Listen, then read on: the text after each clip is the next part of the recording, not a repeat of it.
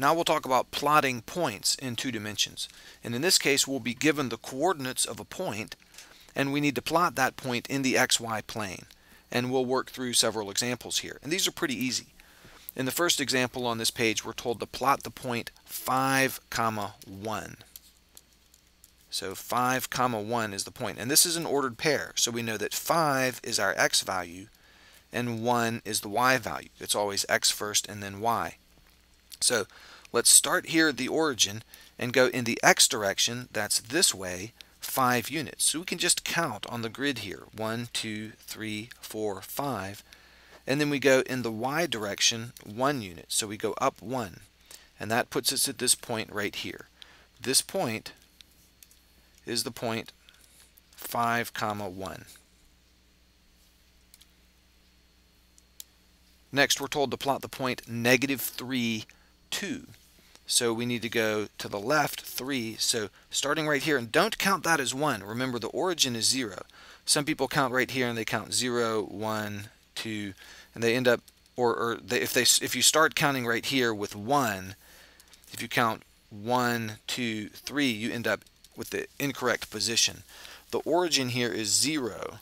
So from there we go to the left 1, 2, 3. That's 3 in the negative x direction, which is to the left. And then my y coordinates are 2 in the positive direction. So 1, 2 puts me to right here. This point right there is the point negative 3 comma 2.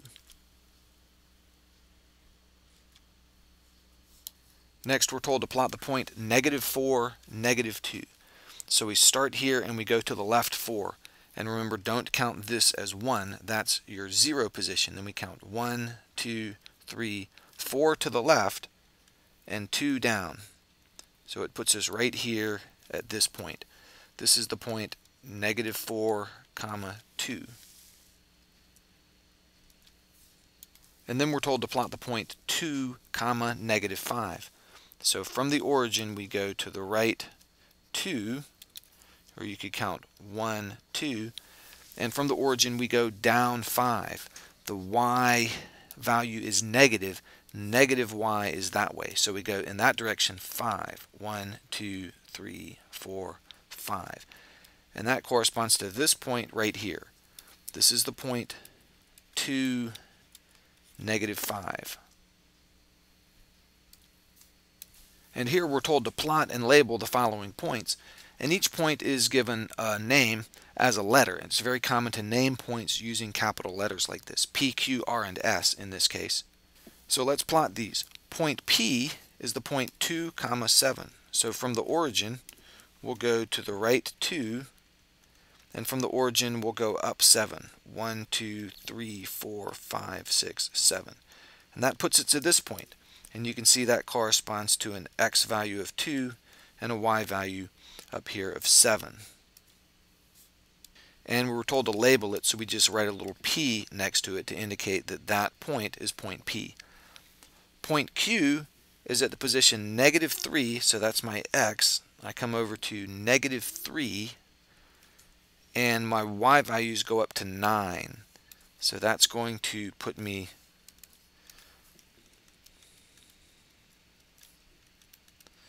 at this point right here. That's point Q. So I'll label that. And you've seen me draw these little dotted lines in here just to kind of help me visually find that point. And it's okay to do that, and it's okay to leave them there. They don't hurt anything. And then point R here is the point negative 5, negative 1. So from the origin, I need to come over 5 to the left. That puts me at that position. And then I go 1 down in the negative y direction. So that puts me right here. You can see that this point corresponds to the point negative 5 on the x-axis and negative 1 on the y-axis. So that is point R. And then point S is the point 0, negative 3. So that 0 there is my x and the negative 3 is y. And when you see the x is 0, that means we don't move left or right at all we only move 3 in the y direction. So we come down 1, 2, 3 to this point right here. and I'll put a dot there and that is point S. So there's points P, Q, R, and S plotted in the coordinate plane. And one more example, we're told to plot and label the following points. Point A is negative 4, negative 1. So from the origin we go 4 to the left and 1 down. So that's point A right there. Point B is 8, 0. So x is 8, so from the origin we go to the right 8. 1, 2, 3, 4, 5, 6, 7, 8. That puts us right here. And we don't go up or down any at all because the y coordinate is 0. So point B is right there on the x-axis. And then point C, we're told is 2, negative 2. So that's 2 to the right and then 2 down. So that puts us at this point right here. That's point C. And then we're told here, draw the line segment connecting the points negative 3, 2 and 3, 4. So negative 3 is an x value and that 2 is a y value. So negative 3 to the left is right there and then 2 in the y direction is 2 above the origin. That puts me at this point right there. So that's the point negative 3, 2. And we're trying to connect the points negative 3, 2 and 3, 4. So again, this is a x and that's a y. So 3 is my x. I go 3 to the right. And then that puts me at this position over to the right from the origin. And then I go 4 up from the origin. That puts me at this position. So the, the point 3, 4 is right here. So I'll make both of these points blue to match the color down here.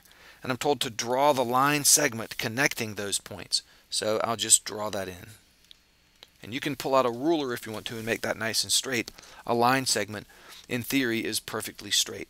So there it is. We plotted the points and labeled them as we were told, and we drew the line segment connecting the given points.